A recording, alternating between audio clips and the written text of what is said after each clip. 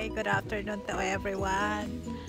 This is Maggy and we are here in the library because my son is going to get the free books to read in the house and he is allowed to get up to 10 books to bring in the house because we're uh, no school until Monday. So I'm helping him with his papa. Also, his papa is with us. We're helping him to, cho to choose 10 books, children's book. Uh, I already featured this library in my blog, but today I want to show you what books are going to choose of my son.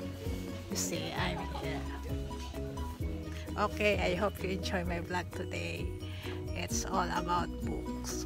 Have a nice day.